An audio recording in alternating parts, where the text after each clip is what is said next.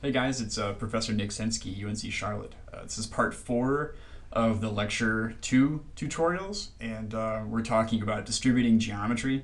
And uh, in the other parts of these tutorials, I talked about how if you have points, uh, you can distribute geometry uh, using those points as a starting point for that grasshopper object, or um, as a as a starting plane.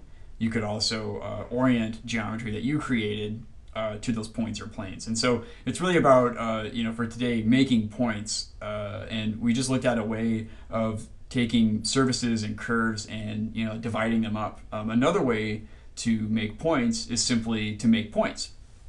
And the way to do that is uh, with a point um, object. You can go into points, and there's a construction called point XYZ. and what this does is it takes an x coordinate, a y coordinate, and a z coordinate, um, basically a number, and will output uh, a point in space. And right now it's zero, zero, zero. It's at the origin. Okay.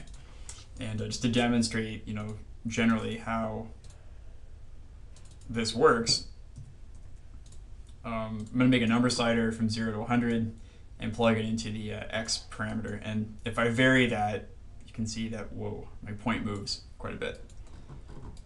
so again, I'm changing the x coordinate to 23 and then the point is at 2300 okay and uh, you know you could you could certainly plug this into you know the z coordinate to get a point that moves up and down okay so you can make a, a, a point but um, what I want to show you actually is is a different way of, of, uh, of making points in, um, in a row or in a series, uh, different kinds of distributions of points. And then we can use those to distribute our geometry. And to do that, we're going to look at two tools. Uh, and, and, one of them is called uh, series. And a series is basically a series of numbers. And what it looks like is uh, it starts off with the first number in the series, which in this case is zero. And then you give it a step size. So this is like the increment in our processing loop. Okay, so like x plus plus, uh, x plus 10, you know, y plus 20. That's the increment. And then lastly is, is a number of values. And this could be like our count that we used in processing. So how many things do you want? So starting at zero and adding one for each step, you have 10 steps, is going to give you a series of numbers from 0 to 9. 0, 1, 2, 3, 4, 5, 6, 7, 8, 9. And these are just numbers. This is very important because we can use numbers for lots of things, right? We have a number slider you know, we can change a parameter by setting a number, we can also give it a list of numbers. And in Grasshopper, when you give a component a list, you create multiple outputs. And so if we take the series numbers and plug it into X, we get a series of points at you know 0, 0, 0, 1, 0, 0, and so forth. Okay. Now I can change these parametrically. So I can change you know the first number in the series, so I can actually shift that x coordinate. So now it starts at 4. And uh, then it you know, becomes 5, 6, 7, 8, 9. If I make another parameter slider, I could, and I make it a whole number, I could change the number of steps that I have.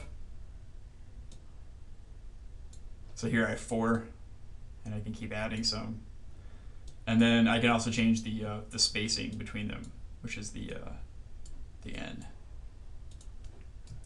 So what that looks like is something like this. So I can I can I can shift these. This is kind of like my margin.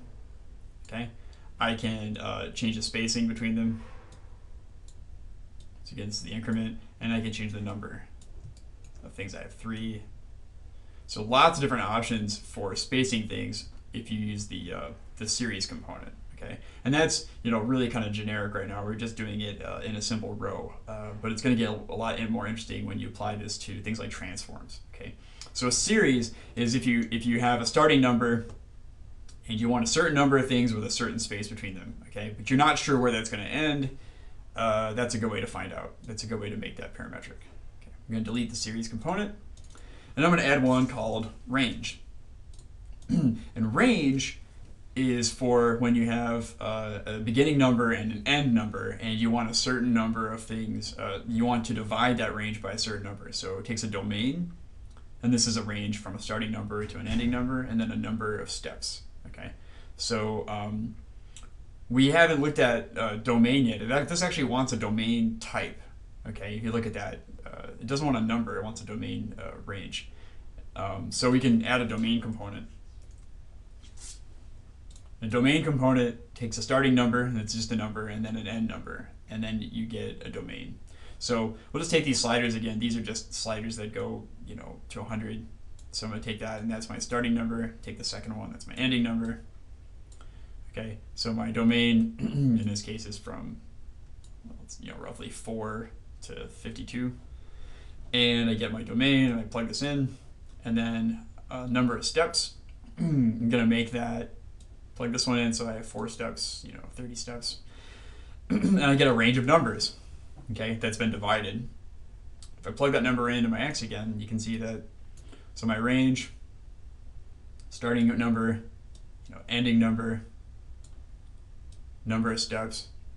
So this is really useful for architects, right? If you want to, if you want to give things an even spacing, you want them to start at a certain point, you know, end at a certain point, and you can can really do a lot of exploration of it. Okay, so that you know those are two methods for explicitly creating points uh, using uh, the series component and the range component, and keep an eye out for those components again. We're going to be looking at them further, but just keep in your head, you know, what kind of numbers those things generate. We can imagine these as processing loops, right? This might be our starting condition. This might be our end test condition, okay? And this might be our count. And uh, so anyway, uh, if you if you think of these as like looping structures, I think it might help you understand a little bit better. So again, series and range, and uh, generating numbers, and uh, we'll um, take this all back together again and look at some different ways of um, distributing geometry in um, our PowerPoint slideshow.